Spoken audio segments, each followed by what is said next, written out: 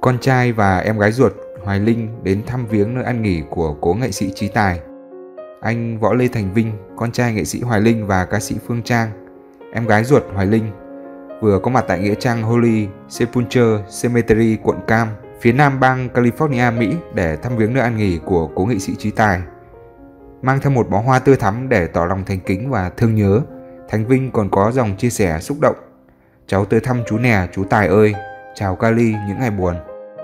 Trước đó dù sinh sống và làm việc ở một địa điểm khá xa tại Mỹ, song anh cũng đã đáp chuyến bay để tới dự tang lễ của nam danh hài Tài Hoa được tổ chức tại giáo sứ Thánh Linh, Phong Te, Valley, Mỹ vào sáng 18 tháng 12. Trong giây phút xúc động, Thành Vinh đã tâm sự rằng vì lý do dịch bệnh Covid-19 và sức khỏe nên bố con không thể sang Mỹ tiễn biệt chú Chí Tài lần cuối. Con thay mặt bố để tiễn biệt chú một đoạn đường. Lời đầu tiên con xin thành thật chia buồn với gia đình cô Phương Loan và khán giả yêu thương chú trí Tài. Chú không những là người con quý trọng, yêu mến mà còn là người chứng kiến con từ lúc bé cho đến lúc con trưởng thành, thành công. Con còn nhớ lúc con có việc làm, chú còn nói đùa là hãy làm chiếc cao để mua máy bay chở chú và bố đi làm.